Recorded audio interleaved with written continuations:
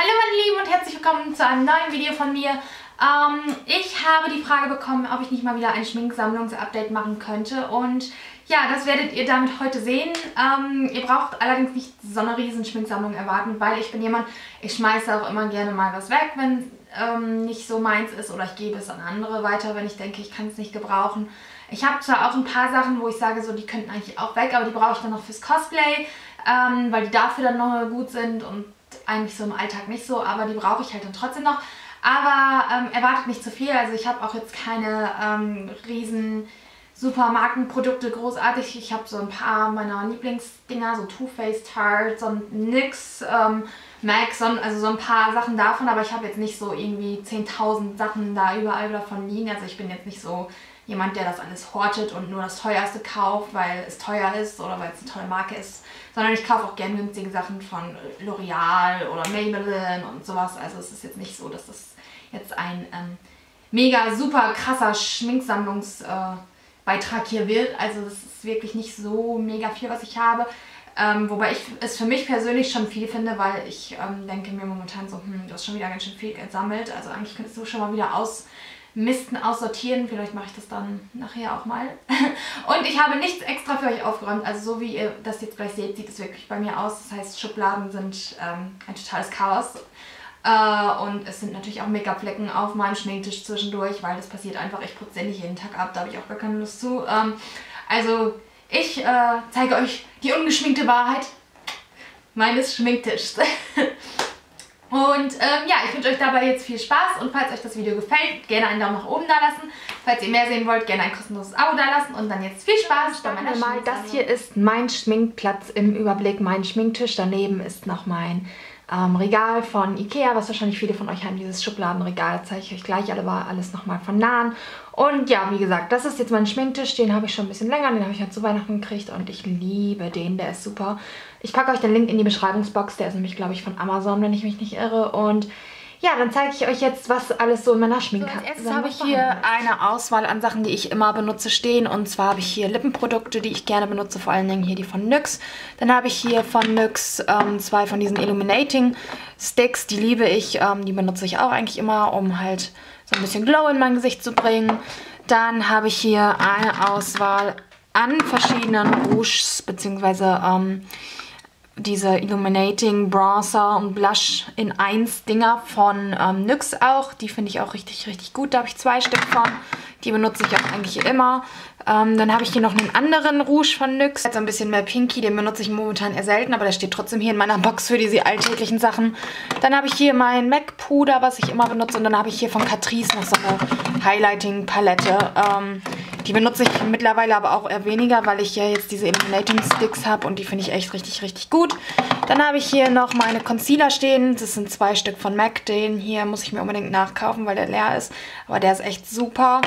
Ähm, die benutze ich eigentlich auch täglich. Dann habe ich meine Augenbrauenprodukte hier. Einmal von NYX ein Augenbrauen-Mascara und äh, von Benefit ein ähm, Contouring Primer für die Augenbrauen. Den finde ich super. Den habe ich mal irgendwo gratis dazu gekriegt und den werde ich mir auf jeden Fall nachkaufen. Außerdem habe ich hier noch eine Too Faced Better Than Sexy Mascara-Probe. Den finde ich an sich auch ganz gut, bis auf die Tatsache, dass der leider nach einer Zeit ein bisschen schmiert. Ja, und das sind eigentlich so Sachen, die ich auch täglich benutze, so vor allen Dingen halt fürs Gesicht und für die Lippen. Ähm, mein Make-up, mein eigentliches Make-up steht woanders, das zeige ich euch aber gleich auch. Dann habe ich hier weiter oben einmal von Ikea diese Blumentöpfe. Da, da habe ich hier in diesem Topf einmal meine Augenpinsel, ähm, eigentlich alle, die ich so brauche. Da sind verschiedene drin, unter anderem zu, zu Eva habe ich welche. Ansonsten sind hier auch meine Mascaras drin, den benutze ich jeden Tag. Das ist der Fall Slash Superstar von L'Oreal.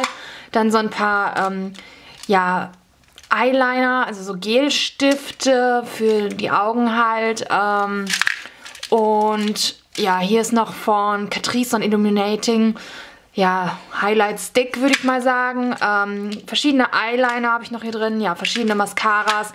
Und ähm, das sind eigentlich so Sachen, die ich auch immer für die Augen brauche, vor allen Dingen halt die Pinsel und die Mascaras. Dann habe ich daneben verschiedene Handcremes. Da hinten steht auch noch eine, weil ich brauche immer Handcremes. Ich habe immer welcher Vorrat da. Und ja, dann habe ich daneben ein... Ähm, ein Balea Body Spray, das benutze ich gerne im Sommer, genauso wie dieses Parfum von Bath Body Works. Und mein Aqua Spray, das ist auch für den Sommer echt super. Dann habe ich hier in der Mitte einmal einen Tangle Teaser, ähm, ein äh, Eos Lip Balm und mein Schmuckkästchen. Hier sind Ohrringe und Haargummis drin.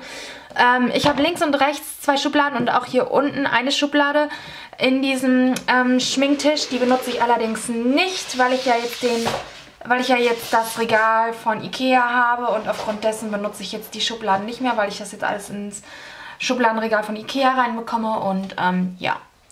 Dann habe ich hier einmal meinen normalen Spiegel noch, den ich benutze halt um mich zu schminken. Hallo. so vor allen Dingen für näher dran und so und ähm, ja, genau. Den benutze ich dafür immer. Dann haben wir hier stehen unter anderem eine Tagescreme fürs Gesicht, die ich jeden Tag benutze. Ähm, das ist momentan die Baby Young Care Feuchtigkeitspflege für normale Haut. Ich benutze sonst eine andere. Ähm, zwar nicht von dieser BB-Serie, sondern eine andere. Ähm, die finde ich eigentlich besser, aber die war ausverkauft, wie das so ist. Man hat das Produkt leer, man muss ganz dringend neues kaufen und dann ist das, was man braucht, ausverkauft. Aber die mag ich eigentlich auch ganz gerne.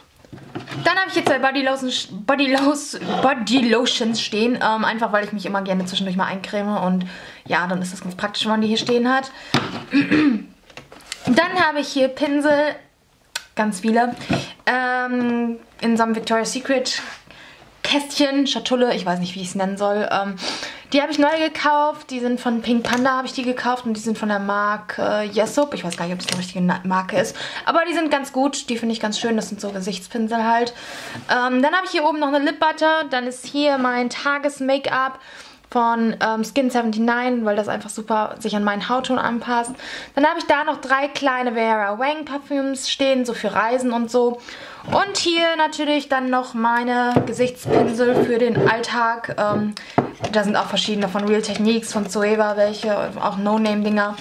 Ähm, dann habe ich natürlich auch Lip Liner hier mit drin, ein Tupierkamm, also nichts Besonderes. Ähm, eine Pinzette noch mit dran, also das, was man auch eigentlich so immer braucht, ist das alles.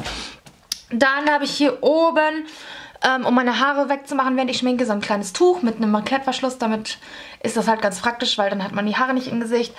Und da oben, seht ihr es? Ja, ihr seht es, habe ich mein Beauty Light. Ich mache euch das mal an.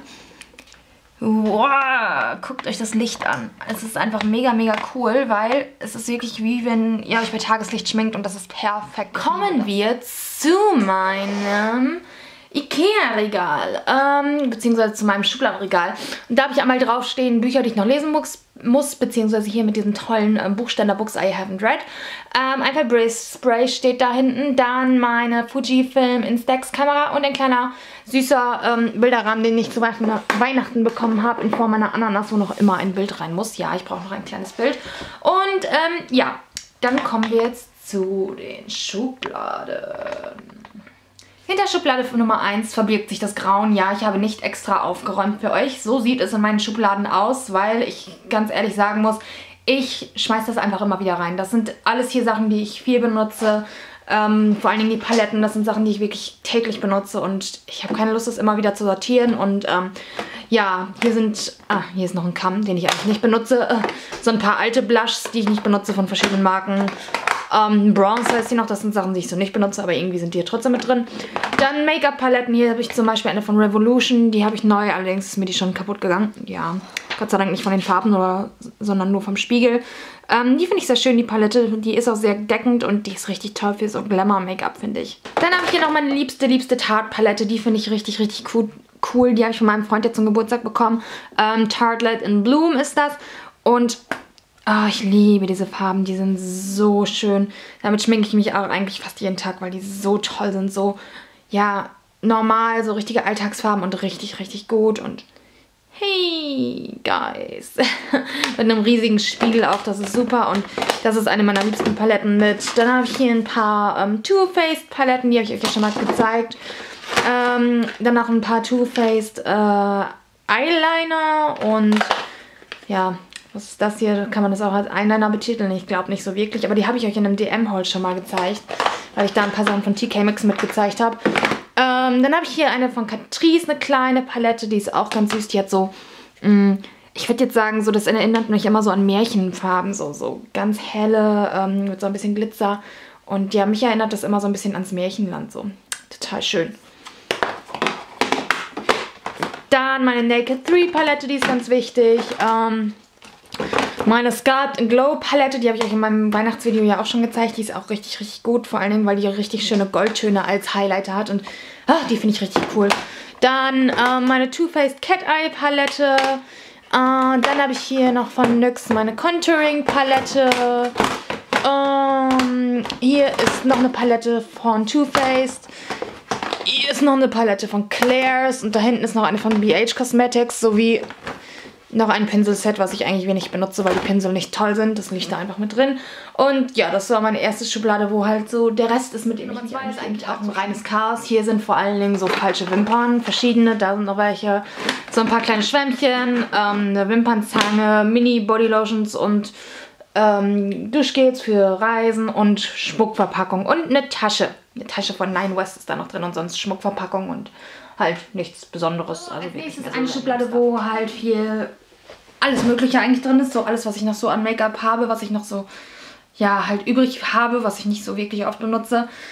Ähm, ist nicht so viel, weil ich jemand bin, ich ähm, schmeiße auch gerne weg oder gebe an andere Leute das dann weiter, wenn ich es nicht mehr benutze, weil ich mir denke, so was soll ich mit dem ganzen Zeugs zu Hause, wenn ich das eh nicht mehr benutze. Ähm, aber hier sind so ein paar Sachen bei, die ich vor allen Dingen fürs Cosplay noch benutze und deswegen sind die noch da. Ähm, diese Organizer-Dinger hier sind von Ikea. Da habe ich zum Beispiel einmal so durchsichtige Haargummis drin, die kann man immer gebrauchen. Parfümproben, ähm, ein paar Concealer und so ein Fit Me Stick von Maybelline. Den finde ich ganz gut, muss ich sagen. Hier so ein paar Eyeshadows. Ähm, den hier habe ich zum Beispiel auch mal nur für ein Cosplay gekauft. Das ist so ein Gel-Eyeshadow, also so, ja, so ein etwas, ich weiß auch nicht, das ist ganz komisch aufzutragen, aber fürs Cosplay ist der super. Ähm, Eyeliner, einmal einen weißen und einen schwarzen, auch fürs Cosplay eigentlich nur. Hier ist noch ein ähm, Concealer. Dann hier von L'Oreal so eine Infect Indefectible Scalp Palette. Die fand ich nicht so gut, aber irgendwie habe ich die trotzdem noch. Ähm, hier hinten sind einmal die Eyeshadows, die in meinem Adventskalender von NYX dabei waren. Und noch so ein paar Eyeshadows von Catrice. Ähm, hier ist noch ein Make-up, hier sind Lipgloss, Lippenstifte und Lipglosse halt alles so, vor allen Dingen auch von NYX wieder viel dabei. Ähm, hier sind so Pröbchen und ähm, auch so ein paar Clear Stripes, dann ähm, alte Puders und alte Rouges, die ich nicht mehr so wirklich benutze. Hier ist mein Eyeshadow Primer, der ist von Adeco ähm, beziehungsweise Eyeshadow Base halt und wie gesagt noch so ein paar andere Eyeshadows halt. Alles, was ich wirklich nicht mehr so oft benutze, also nichts Besonderes, sind ganz normale Marken, L'Oreal, vor allen Dingen Essence. Ähm, ja, solche Sachen halt, viel NYX auch. Und ja, nichts, nichts äh, weltrele nichts Relevantes. findet ihr auch nichts Interessantes. Hier habe ich einmal die Verpackung von meinen Too Faced ähm, Paletten. Das war ja diese Weihnachts-Edition Box. Perlenketten von meiner Uroma und mein Haaraccessoire von meinem Video und meinem Karnevalsoutfit.